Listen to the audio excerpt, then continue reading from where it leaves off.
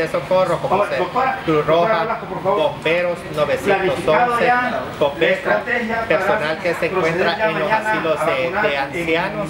y una vez que se concluya con todos estos grupos eh, que se tienen como prioridad, se va a iniciar la vacunación en las personas mayores de 75 años, que fueron aquellas personas que nacieron a partir de 1946 hacia abajo, donde se va a estar notificando por municipio los años a vacunar. Doctor, no hay tiempo que perder, ya se han establecido fechas tentativas y también se tienen definidos los centros donde se llevará a cabo el proceso de vacunación. Así es, cada municipio tiene su establecimiento de vacunación y de igual forma se tienen fechas tentativas para iniciar con la vacunación a la población.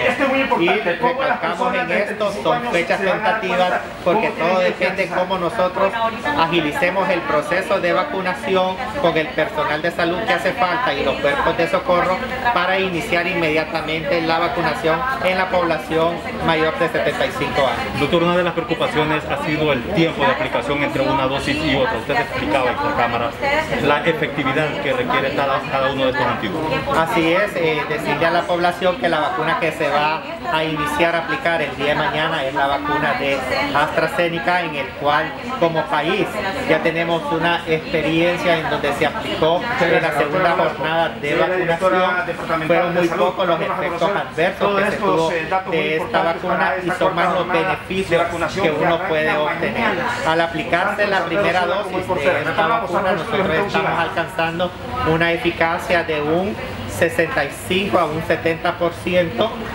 22 eh, días después de aplicada la vacuna.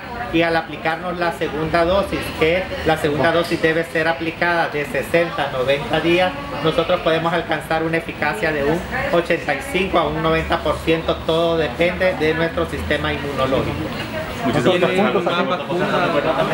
Pero en este momento eh, lo que vamos a iniciar con las vacunas de AstraZeneca conforme vayan ingresando al país los otros lotes de vacuna, nosotros vamos a estarle notificando a la población y notificarles también cuáles son los grupos a vacunar.